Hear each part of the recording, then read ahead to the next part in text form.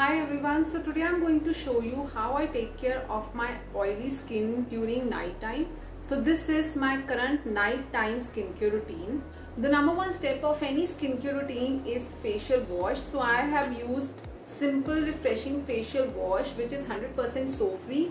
This face wash I'm using from last 15-20 days and it is such an amazing face wash ये इतनी gently आपके face को clean करता है मतलब पूरे दिन की जितनी भी डर्ट है ऑयलीनेस है, उसको रिमूव करता है। So this is one of the best I would say not one of the best but best facial wash that I have use so I have already done washing my face with this one and now coming on to the second step which is under eye cream so I use mCaffeine naked and rock coffee under eye cream now this cream I am using from last three years मेरी यही चल रही है during night time so let me show you इसका ये pump है. You need to take just a little bit amount of this cream this much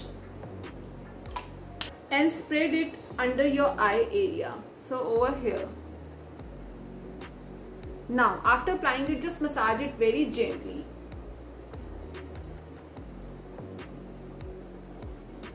Now, during massaging under eye cream, you have to give these strokes. the outward strokes. Just mind it, the skin under your eyes area is very thin and it is very sensitive. So you need not apply a lot of pressure, just very gentle pressure and just apply it. So I'm done applying my under eye cream. Coming on to the third step, although ये वाला step mostly people last में करते हैं, first में करते हैं, it is totally your choice. Because मेरे face wash करने के बाद लिप्स बहुत एकदम ड्राई हो जाते हैं so the current lip balm that I am using is by Vaseline nothing like petroleum jelly आपको इसके जैसा कोई भी मैच में नहीं मिलेगा। Although I loved Laneige का that berry lip sleeping mask but this is equal and good इसको बहुत हल्का सा लेना है and just spread it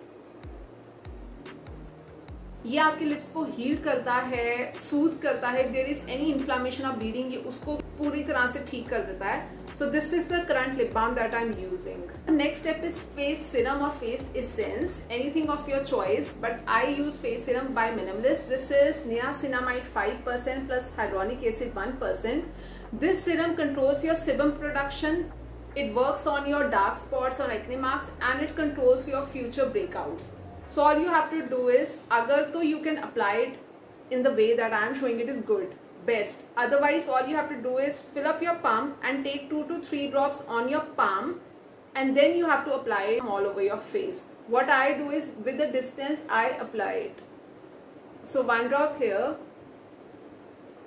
one here one here and one on the nose so total of 4 drops is all you need and just massage these with very gentle pressure again into your skin.